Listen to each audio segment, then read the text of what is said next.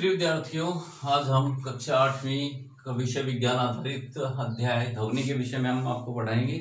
और ध्वनि के अंदर जो जो शब्द हैं, जो जो इस अध्याय को पढ़ने के लिए पढ़ोगे आप तो जो शब्द आएँगे, उन शब्दों के बारे में अवगत कराएँगे। थोड़ा सा संक्षिप्त रूप से उन शब्दों के बारे में जानकार, जानते हैं हम ध्वनि क्या होती है? प्रथम तो ध्वनि क्या होती है, उसके विषय में बताते हैं कि ध्वनि कोई भी वस्तु कंपन करती है तो उस वस्तु में ध्वनि उत्पन्न होती है। ये देख, देखिए। मैंने इस चम्मच को ओ इस प्लेट के ऊपर ऐसे हर्ट किया तो ये कंपन, आवाज़ उत्पन्न हो रही है। जब कोई वस्तु कंपित होती है, जब किसी वस्तु में कंपन उत्पन्न होता है तो उससे ध्वनि उत्पन्न होती है, अर्थात ध्वनि कंपन द्वारा उत्पन्न होती है।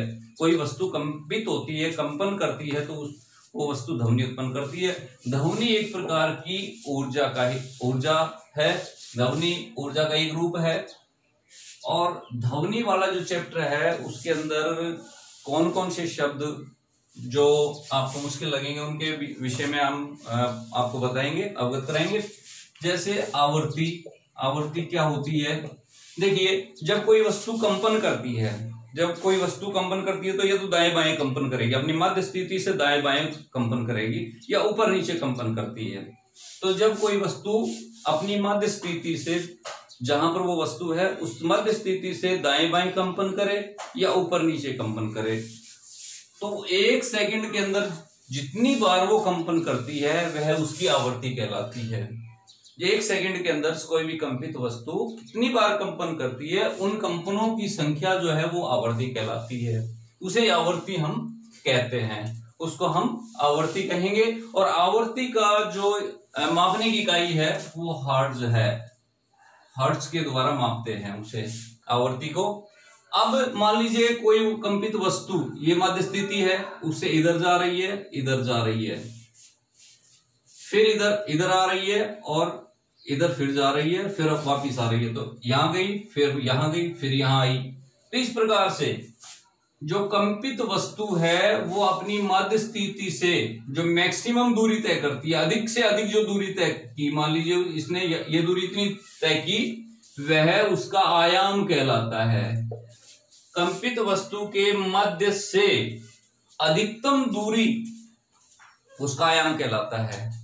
वो उसका आयाम कहलाता है और जब कंपित वस्तु इधर कंपन किया, फिर इधर आया, आई, फिर इधर कंपित हुई, फिर इधर हुई तो इस समय को आवर्त काल कहते हैं।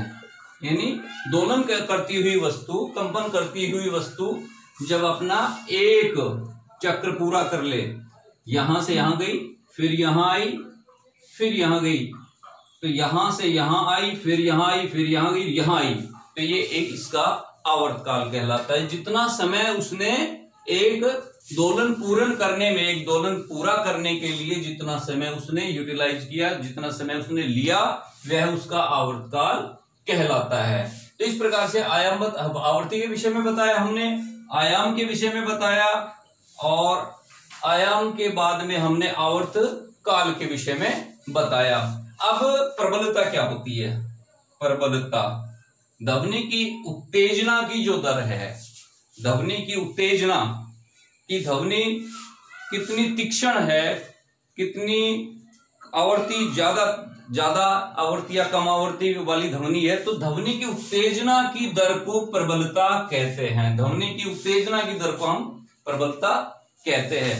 और जितने कंपन ज़्यादा होंगे उतनी ही ध्वनि की प्रबलता अधिक होगी, और जितनी ध्वनि की प्रबलता अधिक होगी तो ध्वनि की तीक्ष्णता भी उतनी ही अधिक होगी।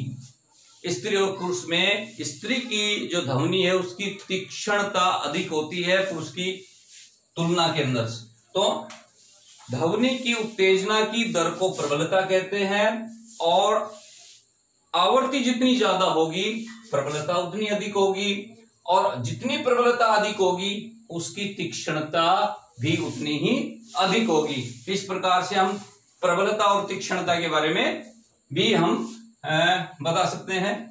अब एक है कि शोर क्या होता है?